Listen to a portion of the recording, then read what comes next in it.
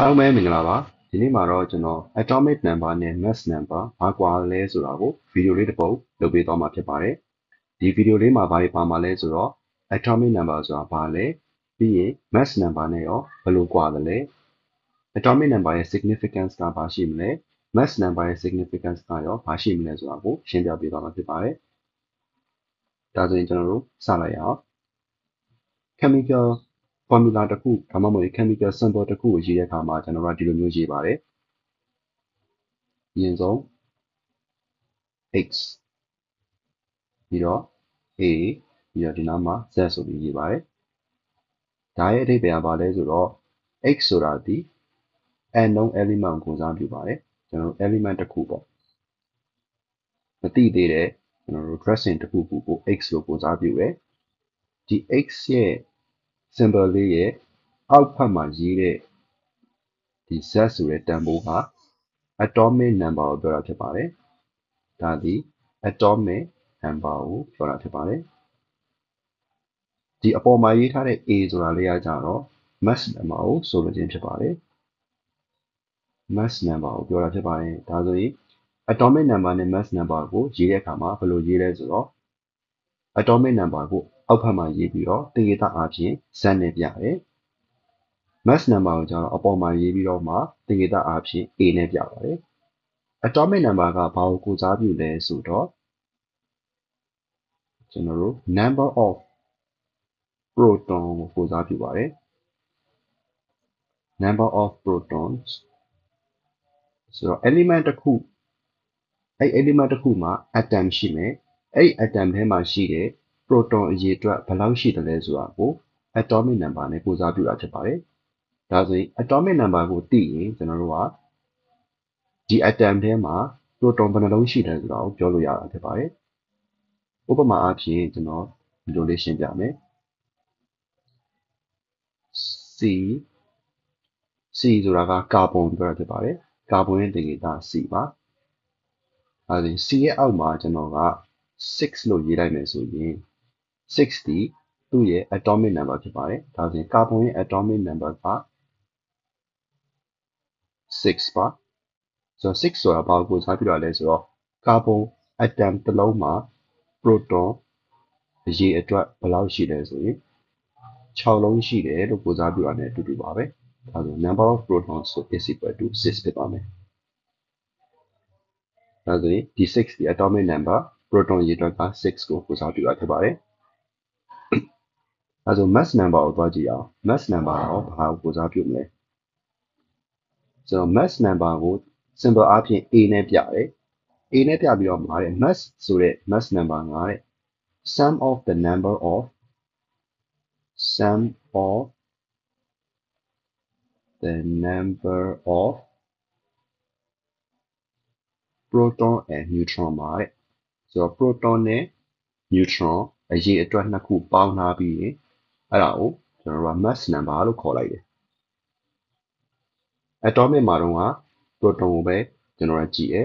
mass number မှာကျတော့ proton ရော neutron ရောနှစ်ခုလုံးကိုကြည့်တာဖြစ်ပါတယ်နှစ်ခုကိုပေါင်းလိုက်တယ်ပေါင်းပြီးတော့မှကျွန်တော်တို့က sum of the number of protons and neutrons ကို mass number လို့သတ်မှတ်လိုက်တယ်ဒါဆိုရင်ကျွန်တော်တို့ဒီ carbon example မှာကြည့်ရအောင်နော် carbon မှာကျွန်တော်ဒီအပေါ်လေးမှာ12လို့ရေးလိုက်တယ်ဆိုရင်အဓိပ္ပာယ်ကဘာလဲဆိုတော့ဒါဒီသူ့ရဲ့ mass number ကိုပြောတာဖြစ်ပါတယ်ဆိုတော့ mass number သိပြီဆိုရင်ကျွန်တော်ကဘာကိုရှာလို့ရလဲဆိုတော့ mass number ဒီ proton နဲ့ neutron ပေါင်းတာဖြစ်တယ်ဒါကြောင့်မလို့ neutron အရေအတွက်ကိုလိုချင်တယ်ဆိုပါစို့ neutron အရေအတွက်ကိုလိုချင်ရင်ဘာတွေကဘာကိုနှုတ်ရလဲဆိုတော့ကျွန်တော်ဒီဘက်ကိုရွှေ့လိုက်မယ်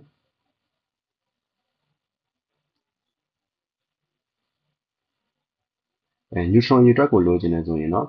mass number တွေကနေပြီးတော့မှ mass number တွေကနေပြီးတော့မှဘာကိုနှုတ်လဲဆိုရင် atomic number ကိုနှုတ်လိုက်ရင် neutron ရေအတွက်ရလိမ့်မယ်အဲ့တော့ mass number က7 atomic number က6ဖြစ်တဲ့အတွက်ကြောင့်မလို့သူ့ရဲ့ neutron ရေအတွက်က6ဖြစ်ပါလိမ့်မယ်ဒါကသူ့ရဲ့ formula လေးဖြစ်ပါတယ်အဲဘယ်လိုလုပ်ဒီ formula လေးရသွားတာလဲဆိုတော့ mass number ဆိုတာက ဆိုတော့ A ဆိုတာက neutron နဲ့ proton နဲ့ပေါင်းထားတာအဲ့ဒီကနေပြီးတော့မှ Z ဆိုတဲ့ proton ရေအတွက်ကိုနှုတ်လိုက်မှတော့ဘာရသွားမှာလဲကျွန်တော်တို့ဒီ P နှစ်ခုကခြေသွားပြီးတော့မှ neutron ရေအတွက်ထွက်သွားတာဖြစ်ပါတယ်အဲဆိုဒီဟာနားလည်ပြီဆိုရင်ကျွန်တော် particle ၃ခုရှိတာပေါ့နော် proton ရယ် neutron ရယ်နောက်တစ်ခု electron ရှိသေးတယ် ဆိုတော့ electron ဆိုရင်ရောကျွန်တော်တို့ဘယ်လိုရှာမလဲပေါ့နော်အဲ့တော့မှတ်ထားမှာတစ်ခုက atom တစ်ခုတည်း is neutral ဖြစ်ပါတယ် atom ဆိုတာဒီ neutral ဆိုတာသိရမယ် neutral ဆိုတာက charge မရှိဘူး charge မရှိဘူးဆိုတဲ့အဓိပ္ပာယ်ကဘာလဲဆိုတော့ positive နဲ့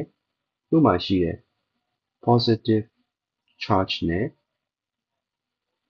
negative charge နဲ့ကတူနေတယ်လို့ဆိုလိုခြင်းဖြစ်ပါတယ်။ ဒါဆို atom လို့ပြောလိုက်ရင်ကျွန်တော်တို့ဒီ positive charge နဲ့ negative charge က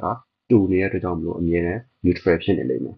။ဒီချက်ကိုသိခြင်းအပြင် positive charge ဒီ proton ပြောတာဖြစ်ပါတယ်။ proton number of proton ကိုပြောတာဖြစ်ပြီးတော့မှ negative charge ကကြတော့ number of electron နဲ့ဆိုင်တာဖြစ်ပါတယ်။ဒါကြောင့်မလို့ proton နဲ့ electron ရဲ့အရေးအတွက်ကတူရင် charge ချင်းတူတဲ့အတွက်ကြောင့်မလို့ neutral ဖြစ်တယ် ဒီသဘောတရားကိုသိမယ်ဆိုရင်ကျွန်တော်တို့ဘာကိုသိနိုင်လဲဆိုတော့ number of proton နဲ့ number of electron ကအတူတူပဲဖြစ်ပါလိမ့်မယ်ဒါကြောင့်မလို့ဒီနေရာမှာ6ဖြစ်သွားပါလိမ့်မယ်ဒါဆိုရင်ကျွန်တော်တို့ဒီလိုမျိုးပေးထားတဲ့သင်္ကေတလေးကနေပြီးတော့မှဘာတွေသိနိုင်မလဲဆိုတော့ proton အရေအတွက် neutron အရေအတွက်နဲ့ electron အရေအတွက်ကိုရှာလို့ရမှာဖြစ်ပါတယ်။ဟုတ်ပြီဒါတွေသိတော့ရောကျွန်တော်တို့ ဘာတွေအကျိုးကျေးဇူးရှိလဲ chemistry မှာဘာ significance ရှိလဲဆိုတော့ atomic number ကိုသိခြင်းအပြင်ကျွန်တော်တို့ဘာကိုသိနိုင်လဲဆိုတော့ body က periodic table ကိုနားလည်မှာဖြစ်ပါတယ်။ဆိုတော့ periodic table ဆိုတာဒီ dressing တွေအများကြီးရဲ့ဘာကိုကြည့်ပြီးတော့စီထားရလဲဆိုတော့သူတို့ရဲ့ atomic number ကိုအစီအစဉ်တိုင်းစီထားဖြစ်ပါတယ်။ဒီမှာဆိုရင်1 2 3 4 5 6 9 10စသဖြင့်တစ်ကနေပြီးတော့မှဒီလိုမျိုးနံပါတ်အစဉ်တိုင်းစီထားခြင်းဒီဒါသူတို့ရဲ့ atomic number ကိုကြည့်ပြီးတော့မှစီထားဖြစ်ပါတယ်။ဒါဆိုရင် atomic number ရဲ့ significance ကိုပြောပါဆိုရင်ကျွန်တော်တို့ periodic table တိစောက်တဲ့နေရာမှာသုံးခဲ့တယ်။နောက်တစ်ခုကြည့်အောင်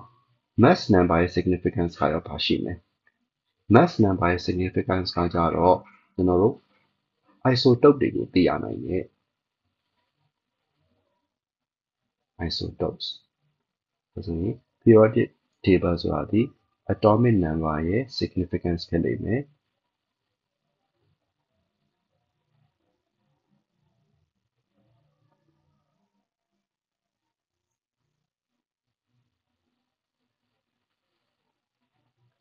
mass number ရဲ့ significance ကကြတော့ကျွန်တော် isotope ဖြစ်နေတယ်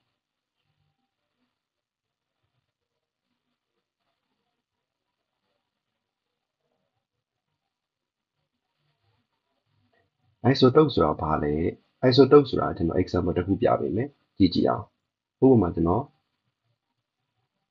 ကာဗွန်နှစ်ခုကိုယူလိုက်မယ်အဲ့ဒီကာဗွန်နှစ်ခုကဘာလဲဆိုတော့12ကာဗွန်နဲ့ဒီနေ့အဖြစ်ကာဗွန်12နဲ့ကာဗွန်14ဆိုပါစို့ကာဗွန်12 and ကာဗွန်14နှစ်ခုလုံးကတော့ကာဗွန်အမျိုးအစားကြီးပဲဒါပေမဲ့ ကာဗွန် element မှာနှစ်မျိုး꿰တယ်ပေါ့ကာဗွန်12နဲ့ကာဗွန်14နဲ့သူတို့ရဲ့သင်္ကေတကိုရေးမယ်ဆိုရင်ကျွန်တော်ဒီလိုရေးလို့ရတယ် 6c 12ရဲ့ 6c 14ရဲ့ဆိုပြီးရေးလို့ရတယ်ဆိုတော့ဒီ12တို့14တို့ဆိုတာဒီသူတို့ရဲ့ mass number ကိုဆွဲပြုတ်ပြီးတော့မှကျွန်တော်တို့နာမည်ပေးထားတာပါ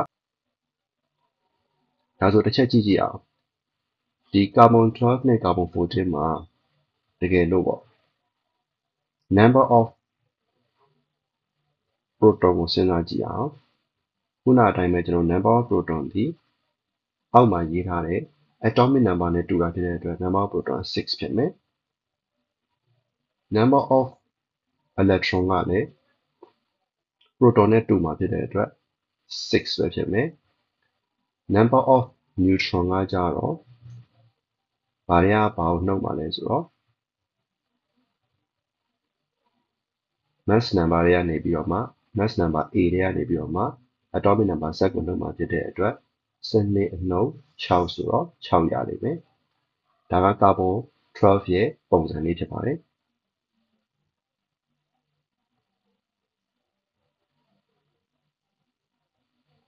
နောက်တစ်ခုကကျွန်တော် carbon 14ကိုတစ်ချက်ကြည့်အောင် carbon 14 carbon 14မှာဆိုရင်သူ့ရဲ့ number of proton က